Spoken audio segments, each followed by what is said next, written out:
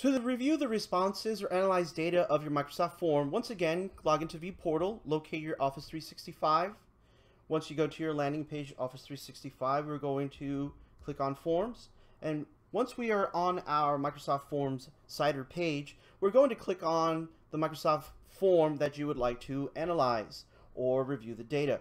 In this case, I'm going to click on a previous response that I'm looking for. I'm going to look at the tab that says response. Instead of the questions, I'm going to look at the response tab.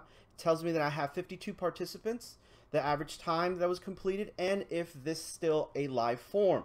To review the results uh, of overall, you can get a pie chart if you've decided to do multiple choice questions. This is a quick summary.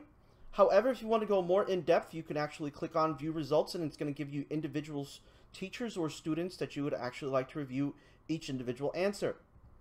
You can also go back and click on open in Excel and it will download an Excel spreadsheet that will give you all of the information plus the timestamp and how long it has um, it took the participant to fill out the form. This is how you analyze and look at responses from your Microsoft form